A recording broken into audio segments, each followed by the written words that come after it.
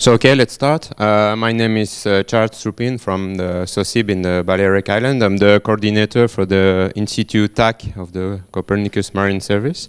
And now we will have the presentation about uh, the in situ data. I will try to show you why in situ data are very important for the rest of the uh, for the modeling, uh, satellite, etc.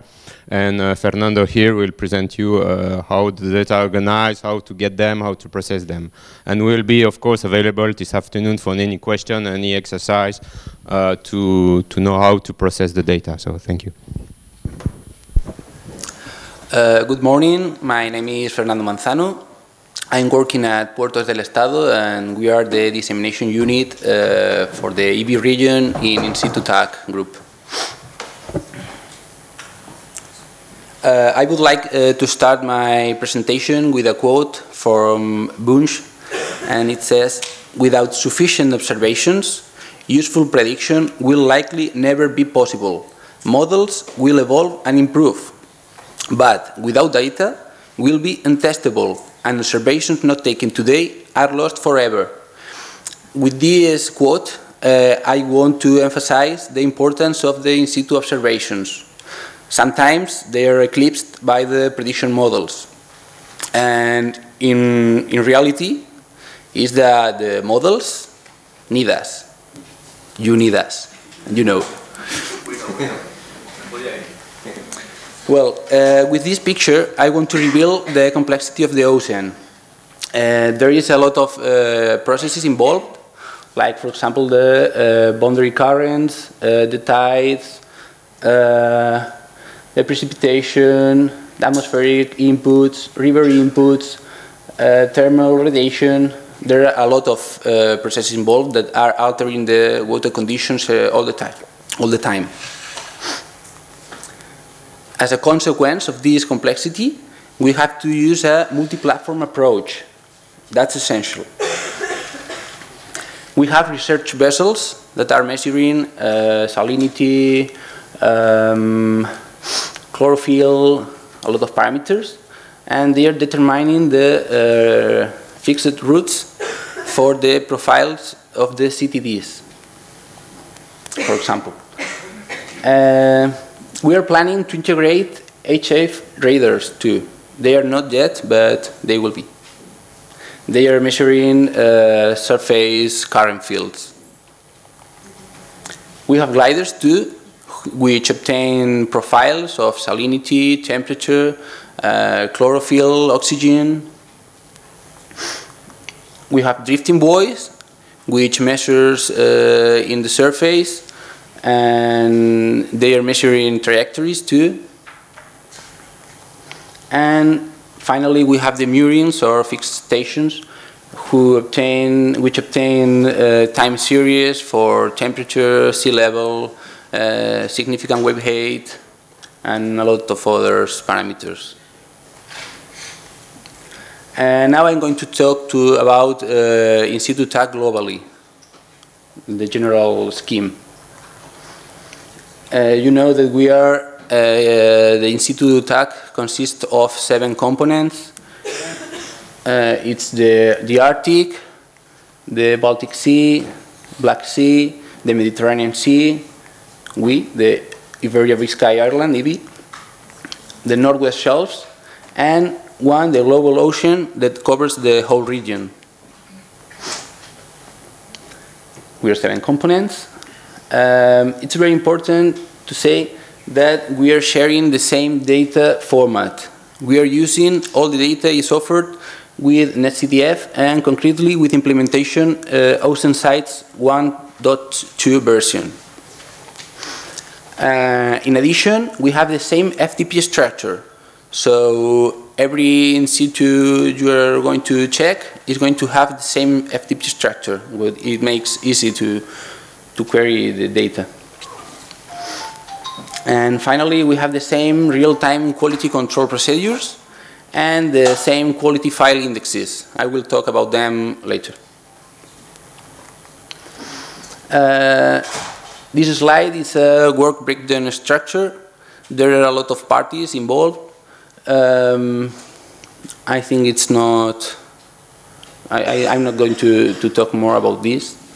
But I want you to notice that we have uh, a lot of, there is a lot of uh, parties involved, and it's a quite complex uh, process in order to get all this data from all the regions and put it in a, in a common format and to offer it in, you know. Uh, that's uh, the data flow scheme, very general. First step, we get all the data from providers and from international organizations. Then automatically we apply a quality control process. We save in in most of the stages we are saving our our results, uh, our data validated in the database. After that, periodically we are validating product in order to to have a reprocessed product. And finally, in the last step, we are distributing the product. Uh, you can access data with some visualization tool as Oceanotron, and you can go to our FTP through the Copernicus catalog. Well, uh, I know it has been said before, but I want to, to remind you how to do it. You have to access, to access the online catalog from Marine Copernicus site. And then in next in next slide, I want you I want to to remark that you have to check this checkbox in order to download the observations from in situ. When you when you check this this checkbox, then the right part of the of the site is going to load all the products available and you have to choose the in situ TAC one from the IBI region in that case. Well, that's the FTP structure. Uh, when you access to uh, our FTP or what uh, all FTPs from in situ, you are going to find a root folder uh, named core. Under core, you are going to have all the products we are offering. In case, we are offering the reprocessed product and the near real-time product. So you are going to find two folders. Um, I'm choosing the NRT folder because it's more complete. In reprocess case, you're only going to find the history directory with the associated index file. So I'm going to explain this. You're going to have three folders with three associated index files. The first one is the latest. You're going to find the latest data that covers 30 days of data. Um, under the directory, you are going to have one directory per day. And inside the, that, uh, the directory day, you are going to, to have one file per day and platform. Next one, the monthly, uh, covers five years of data. Uh, some time ago, we have uh, all data there as an historical case, but per monthly, per month, and it was a huge quantity of data, very difficult to manage. We have data from 19 and 20, more or less, and it was very difficult to manage and to create the index files. And we we take the decision of not uh, not considering older files. And inside, we are going to have a subdivision by platform type. We have profiler riders, moorings, drifters, vessels, and etc. Under these, these directories, we are going to have one directory per month, and inside we are going to have one file per month and platform. And finally, history directory has the same subdivision as monthly, and inside we're, we're going to have only one file per station with the complete dataset of this station. And on the other hand, okay, the, the index files, uh, I'm going to, to talk about them later, but contains, uh, it's like metadata of the content of the directories. And on the other hand, we have the MIO index platform. MIO is from MyOcean, so I think we have to update it. And has uh, the information about all the stations contained in the in the in situ. Okay, in, in, that, in that case, in our region. Okay, here above I have we have an, a snippet of the index latest. Is the the beginning of, of one of these files. In this case, is the latest. First, we have uh, headers that are explaining what is contained in the in the file. And here it's very useful because we can check, for example, uh, the product IDs or the file name, very important because here is the, the path in, the, in our FTP.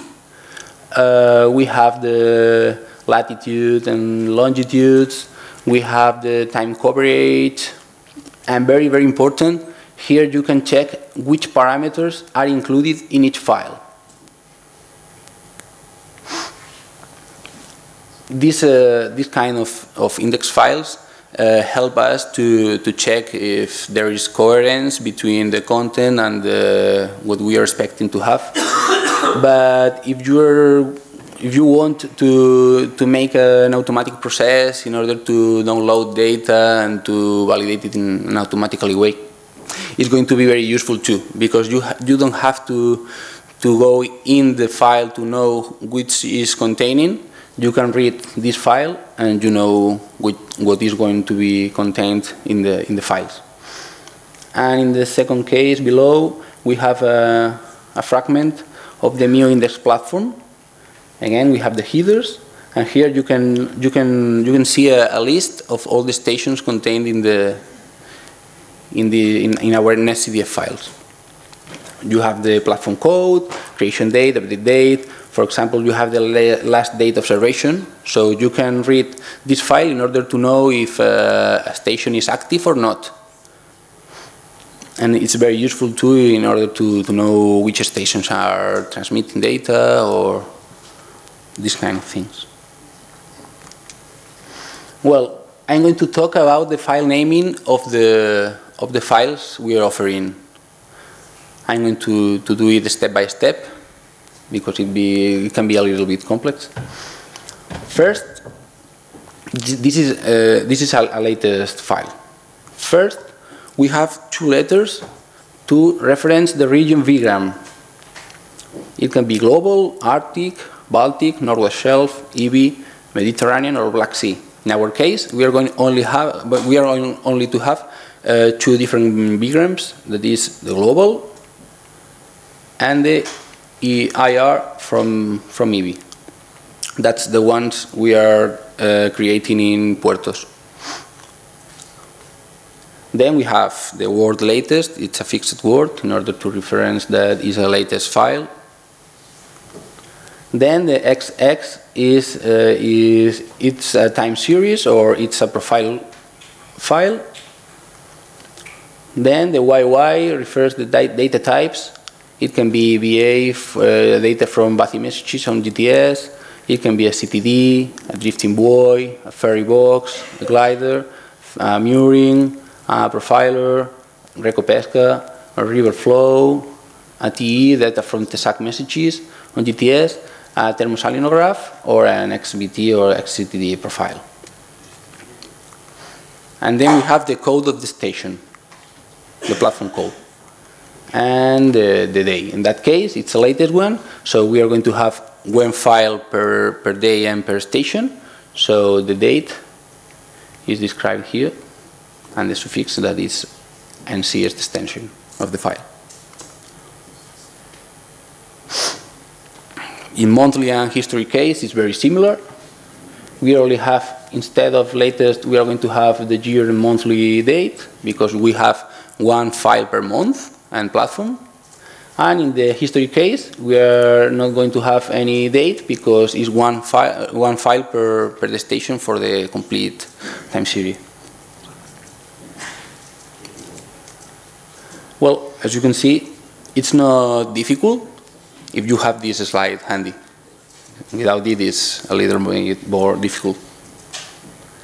Well, and now I'm going to talk about the in situ TAC, but now specifically of the IBI, IBI component. Regarding roles and responsibilities, Puertos del Estado is coordinating the, the IBI region. We are producing near real-time um, validation of the moorings. And from Copernicus kickoff, we are leading the wave reprocess development and assessment too. Uh, meanwhile, Ifremer is contributing to the NRT production and validation for Lagrangian and underway stations. They are in charge of uh, temperature and salinity reprocess product assessment too. Uh, in this slide, I want to, to remark how many providers we have and I want to, to say that it's a very difficult challenge to, to put in common all these providers that are offering data in different ways and acquire all this data and put it in a common format and offer it in, in a common way too. Uh, we have moorings, buoys, tide gauges, platforms, lightships, river flow stations. The providers are Puertos del Estado. We are our, our uh, own provider. Uh, the, e, the IEO, the Institute, the Spanish Institute of Oceanography, Euskalmet, and Xunta Galicia. From Portugal, we have the Instituto Hidrográfico and the University of Azores. From France, we have the SHOM, Meteo France, Ifremer, CETMEF, and CEREMA. From Ireland, we have the Marine Institute, and in UK, the UK Met Office, POL, and Cefas. And Lagrangian and the way stations, we have profile riders, Argo, CTDs, riders, XBTs, and other profiles, drifters, and vessels. The providers are EuroArgo, is BSH from Germany, the IEO from Spain, Ifremer from France, the UK Met Office, the Marine Institute, the SHOM, the LOV, and data from GTS, the Global Communication System, the SeaDataNet for, for historical data, the PLOCAN, Canarian Islands, New York College, SOCIB, IRD, Brest, okay, and non-European like NOAA, Woods Hole, and a lot of and other providers that I'm forgetting for sure. And that's the data flow, but uh, specific for IBI region. We are getting data from providers. Most of them are offering in FTPs. In our case, we have a database. We get data with uh, a PHP process. We keep all the data in an internal database, different from the other we have in Puertos. This one is, is dedicated to Copernicus system. Then we apply a check quality control that we have developed in Java. After that, with another library we have developed in Java called NetCDF Lab, we generate our NetCDF files. Uh, for the reprocessed data, we are going to the providers to obtain the validated and assessed data. And then with our tools, we are generating the NetCDF files too. With another library we've developed, the NetCDF index, we are generating the indexes and depending on the content of the directories where we are putting these, these NetCDF files. And we put all together the NetCDF files and the index files in our PU host. It's the prediction unit host. And then, as a last step, we are uh, running a synchronization process to put together all our files and the Ifremer files, who is acting as the other PU with the Lagrangian and underway stations. Finally, we put all the files in the DU host that is the FTP where you are going to access when you go through the Copernicus catalog and, and, and that. Here I am putting the Oceanotron as a visualization tool we, we're offering to. And here uh, it's not very visible, but if you want, you can check it. It's, uh, it's not internal because you can access from outside, but it's, it's not very visible.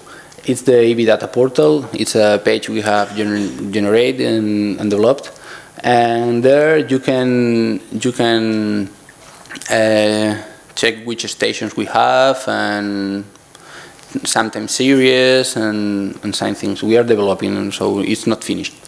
The the URL is evdataportal.puertos.es so what, what you want. Here we are offering the KPIs the key performance uh, indicators too and other information that could be useful.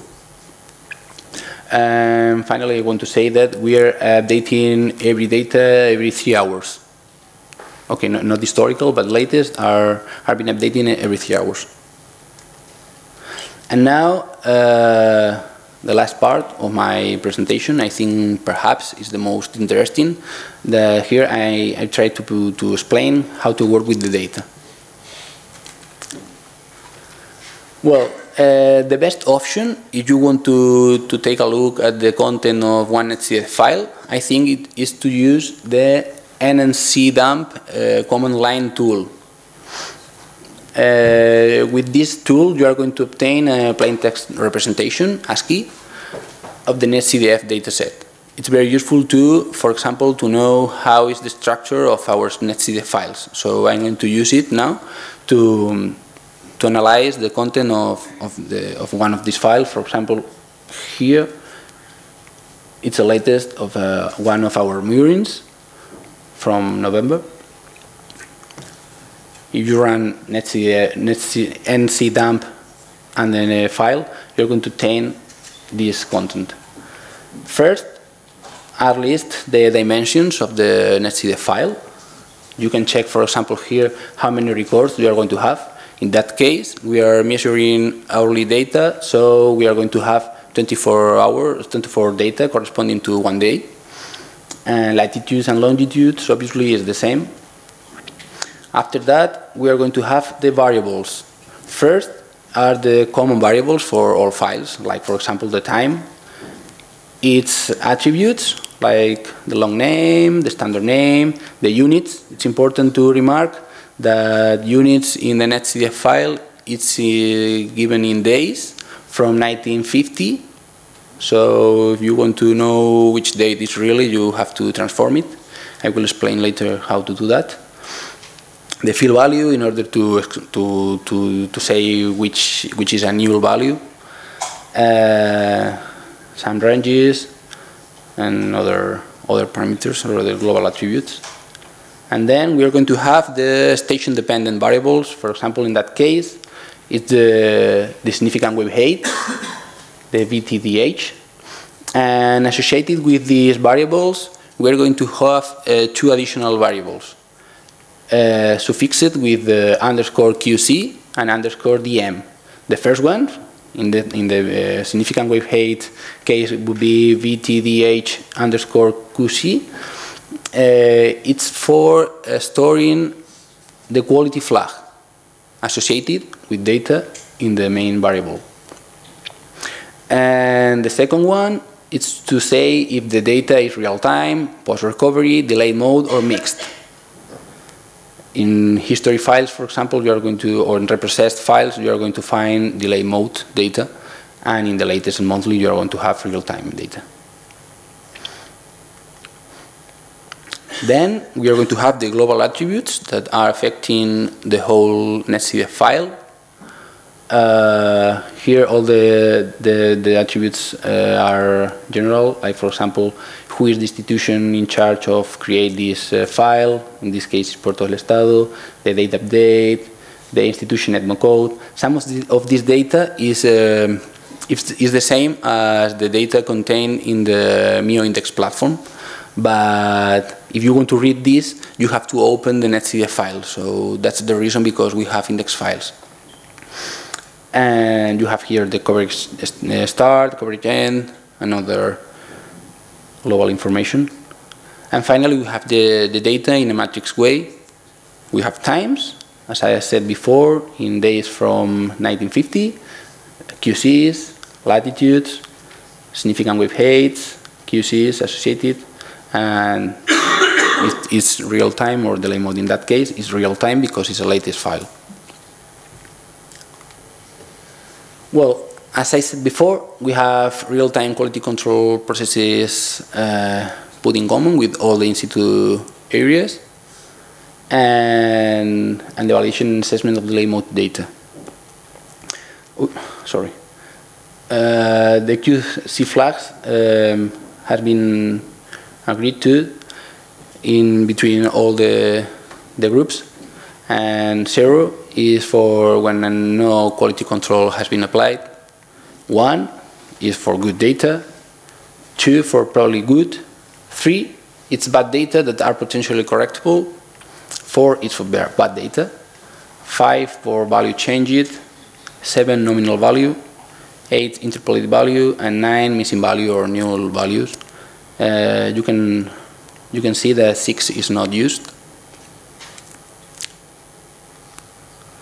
And here I'm presenting a, a graphical tool that is very useful if you want to, to draw a time series or whatever you need. You want to, to draw something.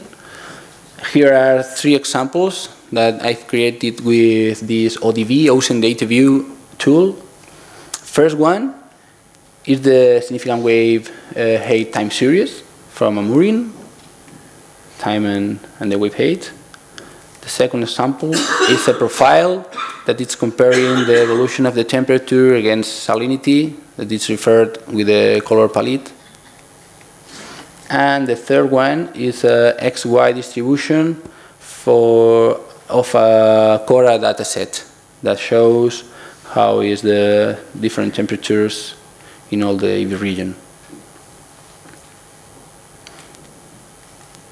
And now, if you want to manage the content of the files, the NetCDF files, and you need to to do some automatically, then I recommend you to use a programming language with NetCDF support, uh, as for example Python, that has a NetCDF4 library in order to manage all the NetCDF content.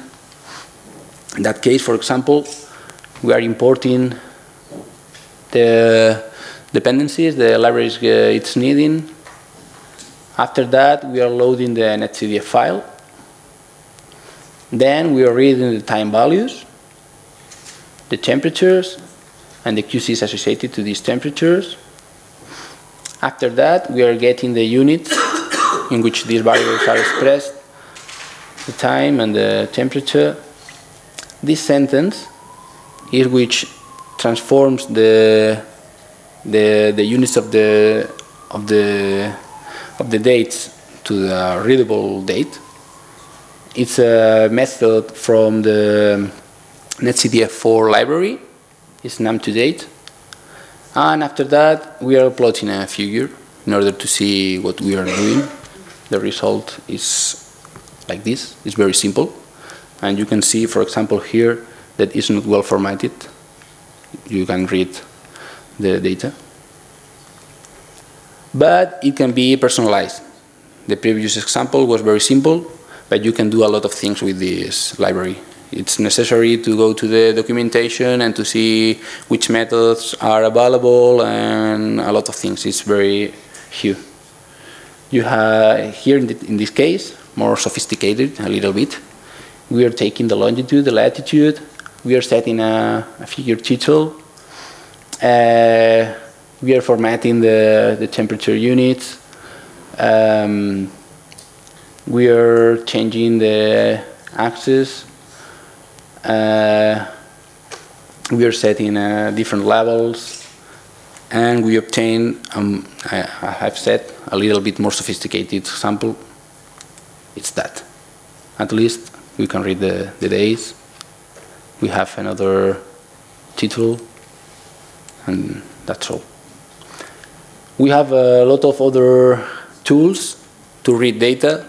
To be honest, I don't use it, most of them, but you can if you want. Uh, I've used, for example, the NetCDF Java library, for example, for develop our NetCDF lab library to create the NetCDF files. And we are working to to implement a web service to, to read the NetCDF files uh, directly and present it in a website. And, and, Python, for example, we are using Python to get data from SOCIB, where Charles is working.